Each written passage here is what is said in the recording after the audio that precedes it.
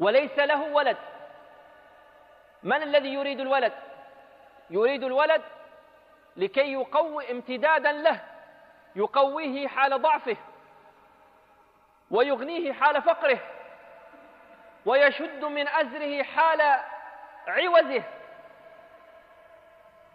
ولكن الله عز وجل وهو خالق كل شيء كيف يحتاج إلى ذلك؟ وذكر سماحته في موسوعته قصص عمن يدعي بأنهم على دين المسيح أو على بقية ما كان عليه موسى عليهما السلام. فجاءه رجلان ممن تلبس ببقايا النصرانية وهي منحرفة. جاءوا إليه فأول ما أثاره معهم سماحته حفظه الله تعالى سألهم عن المسيح عن الإله. من هو الإله؟ هل هو المسيح؟ أم هو المسيح والله؟ أم هو الإنسان؟ من هذا؟ من هذا هذا الإله؟ لأن هذه الحالة هي التي كانت عليها النصرانية المنحرفة بعد عيسى عليه السلام وقبل مبعثه قبل مبعثه صلى الله عليه وسلم. فكانت النصرانية على أربع.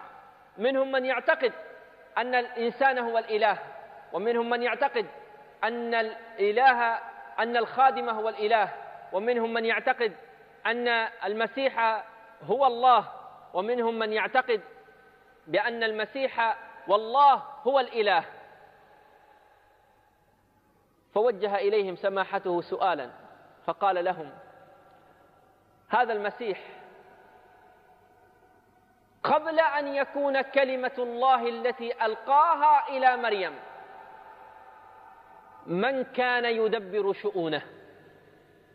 أين كان؟ ثم لما أصبح لما ألقى الله كلمته لمريم عليه السلام وكان جنينا في بطن أمه. هم يقولون بأن المسيح هو الله ويقولون هو ابن الله ويقولون المسيح هو هو هو المسيح. يعني جعلوه على ثلاثة مراتب. فقال لهم إذا كان المسيح ابن الله أو المسيح هو الله. هذا المسيح أن الله ثالث ثلاثة. حينما كان جنينا في بطن أمه من كان يدبر هذا الكون؟ من الذي كان يحيي ويميت؟ من الذي يغني ويفقر؟ من الذي يدبر شؤون هذا الكون؟ ترى الإله لا زال جنينا لا يقدر على تغذية نفسه. ثم لما كان رضيعا بين يدي أمه عليها السلام من كان يدبر شؤون هذا الكون؟ يقول فقالوا بأن هذا فوق مدارك عقولنا وعلينا بالإيمان التام وأن نسلم لذلك تسليما. قال لهم عجيب بأن الإسلام لم يعطل العقل.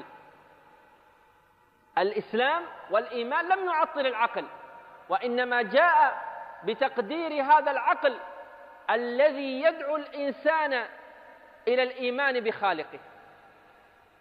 يقول ومضت خمس سنوات وزاروه والتقوا وذكروه بتلك الزيارة فذكرهم بنفس السؤال فلم يجيبوا عنه.